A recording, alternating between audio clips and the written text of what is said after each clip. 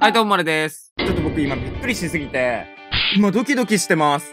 まさかあんなすごい方から連絡が来るなんてね、結構有名なアイドルにはね、よく動画見てますよって言われるんですけど、まさかね、つい最近始めた動画の本人自身からね、連絡が来るとは思いませんでしたね。本人から連絡くれるってめちゃくちゃ優しいよね。YouTube ってやっぱ夢あるよね。じゃあ誰からね、連絡が来たのか。もうこの動画見に来てる人は、わかるよね。そうなんですよ。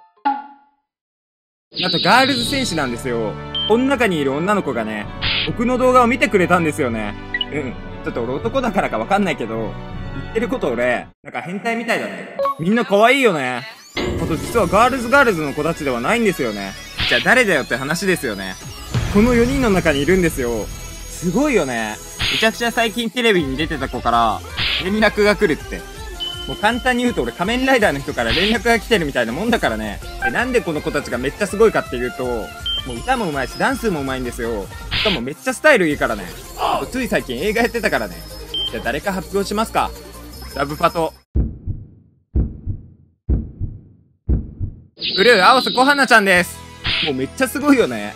人生初めて俺死んでいいなって思ったもん。で、僕の本赤のインスタの DM で来たんですよね。なんて来たと思う？めっちゃ可愛いよ。YouTube ネタにしてくださりありがとうございます。で、俺本物ですか？ありがとうございますって言って、まず本物なんてありえないじゃん。さすがにそんなことないだろってプロフィール飛んだんですよ。普通に本人でした。この動画見てくれた方で、ラブパトリーナとガールズ戦士好きな方は、ぜひインスタフォローしてあげてください。漢字の山下ゆいさんでもね、インスタ出ると思います。あと投稿見たんだけどめっちゃ美人だね。なかなかこんな子いないでしょ。